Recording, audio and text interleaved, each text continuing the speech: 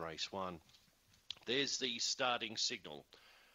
Race 8 of 10 here at Mount Gambier. They're being loaded away. Don't forget scratchings 2, 6 and 7 here leaves a field of 5. Green light switched on. Lure in motion. They're ready to jump. All set. Racing Goldburn to the inside, fast away. Nitro Yap, Compton Peggy showed good speed. Cadillac Prince back to second last. Local Brew last of all. Out of the straight they go. Nitro Yap, the leader, leads from Goldburner. Third Compton Peggy, six lengths away. Then Cadillac Prince and Local Brews last off the top turn. Nitro Yap just in front from Goldburner. Now coming through Compton Peggy, starting to run on. Local Brew and Cadillac Prince last of all. Nitro Yap into the straight, the leader. Compton Peggy wearing it down and Nitro Yap held on from Compton Peggy. Third Gold Burner or Local Brew. I'd give it to Local Brew in front of Gold Burner.